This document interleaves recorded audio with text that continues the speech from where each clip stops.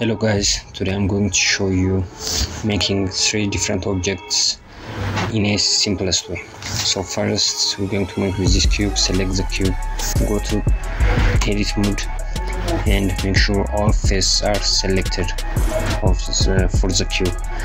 Then let's duplicate the cube shift it to the x-axis. Okay let's move it uh, here.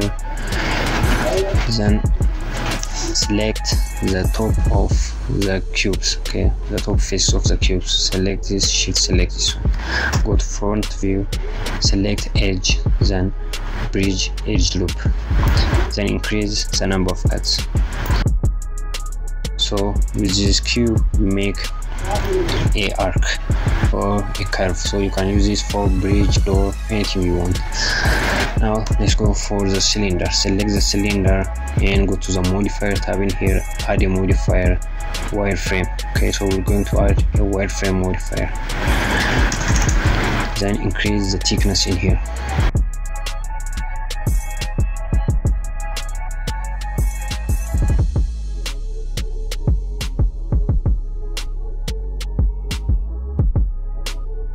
I think this is good. Now let's add a circle in here. Go to top view uh, change this to the cursor selection then move your uh, cursor in the middle of the cylinder. Then change to the selection in here. Then shift a add a circle. Okay go to edit mode. Then hit F to fill the circle. Then to object mode let's fit the circle in the cylinder.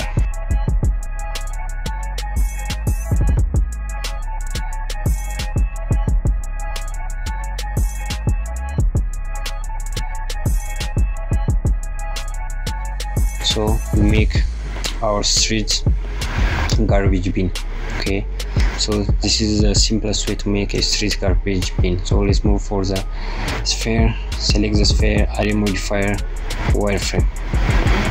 Then increase the thickness in here as you want.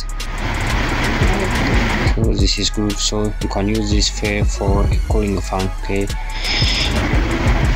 So this is these are the three shapes we make in a simplest way. So i think this is helpful guys. Thank you for watching